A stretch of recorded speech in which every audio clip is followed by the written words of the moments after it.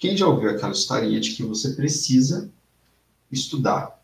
Você começa estudando com as matérias básicas.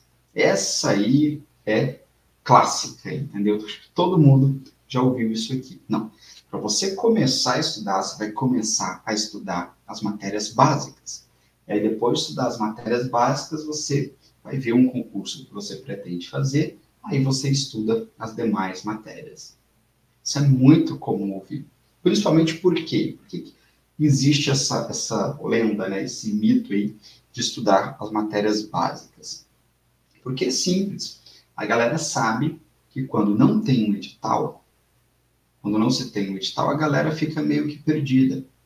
É, quando não se tem edital, a galera para de comprar material, para de se inscrever em curso. Então você precisa manter o cara naquele ciclo vicioso de comprar material, comprar material, comprar material e comprar material. A todo momento. Todo momento. Então não tem edital, você tem que manter o cara fazendo alguma coisa. E a forma mais simples de fazer isso é falar, olha, entende tal, fique estudando as matérias básicas, tá? Fique estudando as matérias básicas. E aí você fica ali estudando as matérias básicas, sai o edital, é praticamente impossível estudar as matérias específicas, que são as mais importantes. Você já aprendeu algumas coisas que são muito importantes, né? Uma delas, você estuda para uma área e não para um concurso. E ao estudar para uma área, você já sabe quais são as matérias principais e as matérias que a gente chama de complementares. Você já viu que existe essa diferença. Não existe matéria básica ou matéria específica ali. Porque, por exemplo, você tem português. Para os concursos de técnico e analista, é uma matéria de conhecimentos básicos muito importante. Inclusive, tem até algumas provas que o português tem peso 2 que é o mesmo peso das matérias das específicas. Então, as matérias de conhecimento específico são as mais importantes. São as mais importantes. Em muitos concursos, português vai ser uma das mais importantes também. Eu tenho as matérias de conhecimento específicos, mais português, que às vezes são as matérias que vão até ter peso 2.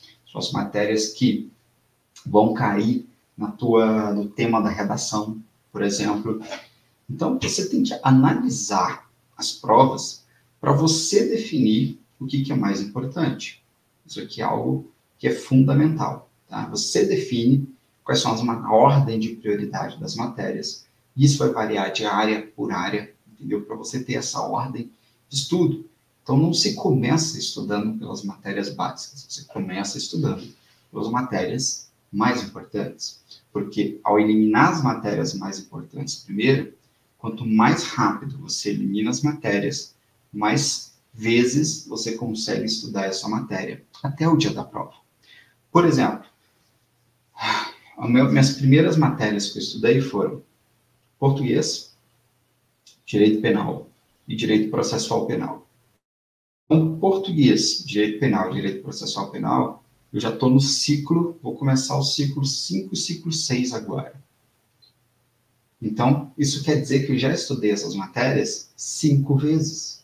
Cinco vezes no mínimo. Tendo estudado essas matérias cinco vezes, todas elas eu já estou pontuando mais de 90%. Mais de 90%.